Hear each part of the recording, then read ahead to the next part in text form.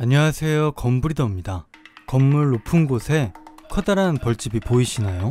거리가 멀어서 작아 보일 수 있는데 사람 몸통 정도의 엄청난 크기입니다. 사람이 많이 다니는 곳이라 제거를 위해 소방서와 방송국 등에 문의했는데 제거가 어려워 이 영상과 함께 제게 문의를 주셨습니다.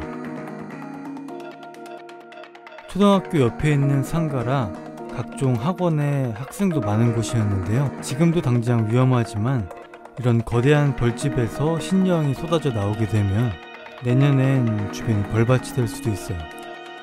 건물 내부로 들어가 살펴보니 마음껏 창문을 열기 어려운 상황 같습니다. 오, 벌이 들어와 있네 벌써.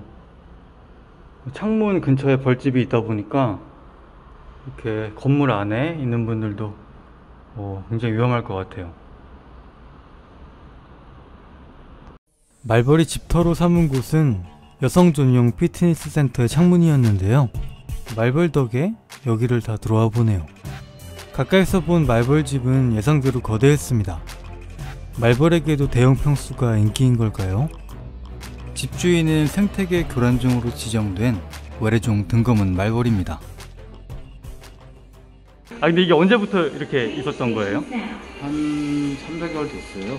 어 처음에 조그만했는데 엄청 빨리 네, 커진 거네. 금방 커지더라고요. 그냥 좀 있다가 없어질 줄 알았더니 네. 이렇게 커지네요. 와, 와, 안에 벌 사는 게 다 보이네요. 와.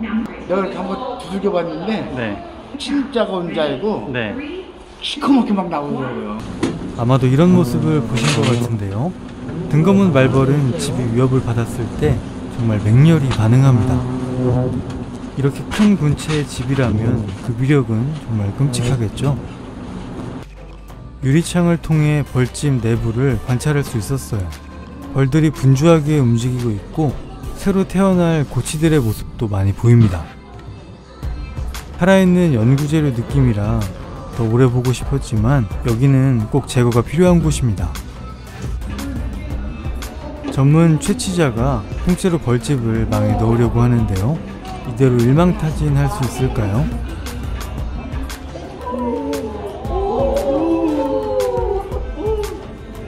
지난 몇 개월간 커가는 벌집을 보면서 근력도 함께 키우셨다고 하는데요. 볼 때마다 무섭기도 했지만 막상 제거하니 아쉬운 마음도 든다고들 하시네요.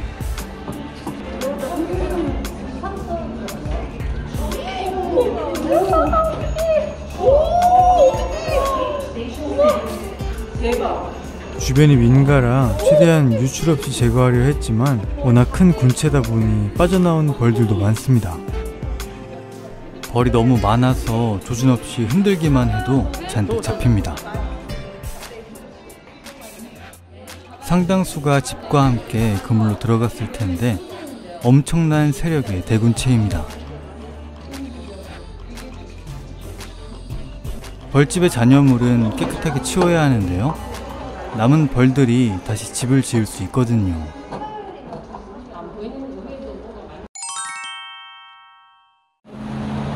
오, 진짜 안 찍을 수가 없네.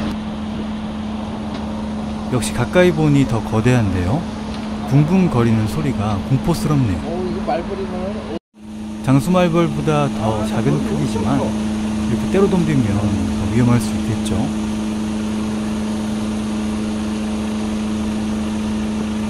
이거 뿔은 아니죠? 아, 꿀은 없어요. 말벌은 꿀은 안 모아요. 꿀벌만 모아요. 호박벌. 얘네는 그 어른 벌레는 설탕물을 먹는데 이 애벌레들은 다른 벌레를 잡아가지고 막 얘가 씹어가지고 애벌레한테 먹여요. 그이 새끼들은 그 지- 산에도 도움이 안 되는 놈들이면 뭐 하나도.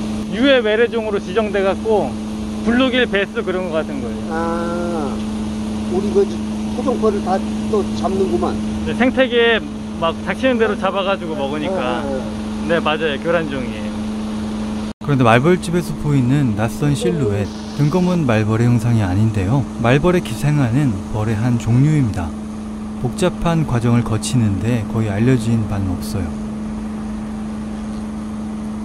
아직도 벌이 많이 날아다니는데요 조금 더 모일 때를 기다렸다가 한 번 더 제거하였습니다 어떻게 유리창에 붙어서 이렇게 컸는지 놀라운 위치와 크기의 등거문 말벌집 제거였습니다. 시청해주셔서 벌써합니다.